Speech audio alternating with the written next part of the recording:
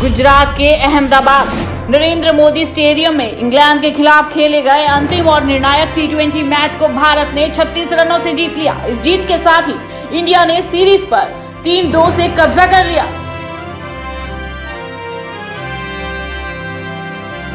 गुजरात के अहमदाबाद। नरेंद्र मोदी स्टेडियम में इंग्लैंड के खिलाफ खेले गए अंतिम और निर्णायक टी मैच को भारत ने 36 रनों से जीत लिया। इस जीत के साथ ही इंडिया ने सीरीज़ पर तीन दो से कब्जा कर लिया।